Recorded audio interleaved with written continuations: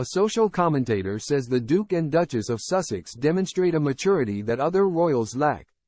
Author Dr. Shola Mos-Shogbamimu has said Harry and Meghan will rise above the pettiness, envy self-destruction, to attend King Charles III's coronation.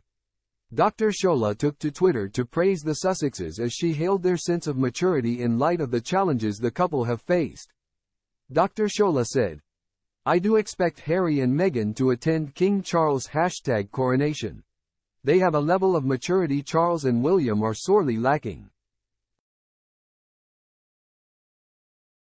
I like how they consistently rise above the pettiness, envy self-destruction royal family embodies. It's just one day. They've survived worse. There is uncertainty over whether Prince Harry and Meghan Markle will attend the ceremony on May 6.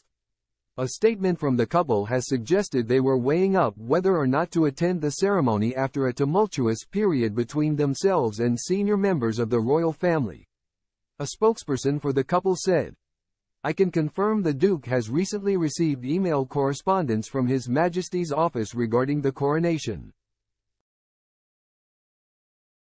An immediate decision on whether the Duke and Duchess will attend will not be disclosed by us at this time.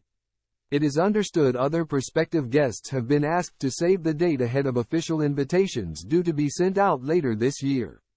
Buckingham Palace has so far declined to comment on invitations.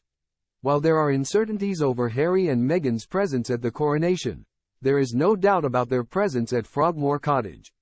It has been understood that Harry and Meghan have been asked to vacate the property, a report confirmed by their spokesperson.